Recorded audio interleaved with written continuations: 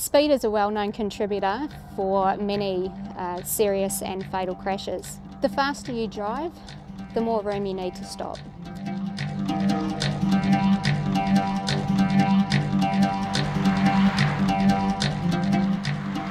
A car, when it's moving, has a certain amount of kinetic energy, and to change that kinetic energy, we have to apply force to it. If you're falling from 10 stories, you're obviously going to get a lot faster before you hit the ground.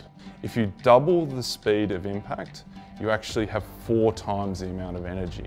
So you're going to have nine times the amount of energy at impact. When you're falling out of a building, uh, that motion is going to be vertical. In a car accident, it's horizontal, but the forces and energies involved are exactly the same. If you had a car accident at 90 kilometres an hour and you stopped in a metre, you're going to be suffering a, force on your body 32 times greater than your body mass. Whereas at 30 kilometres an hour, we're talking about one tenth of that value. Speed makes a huge difference. If you double your velocity, you have four times the energy. Triple the velocity, you have nine times. So huge, huge differences. Speeding increases your risk of causing a crash um, injuring either yourself or others and possibly causing death.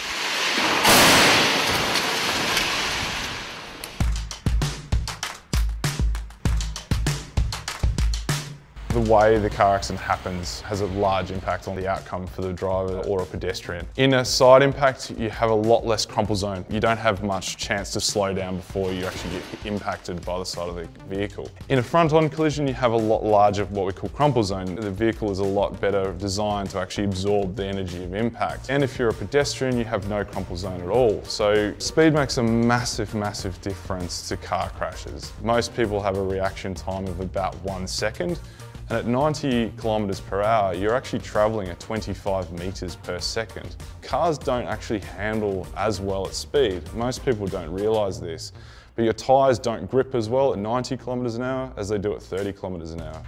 My message to motorists would be stick to the speed limits, adjust it to the conditions if necessary, and help keep our roads safe.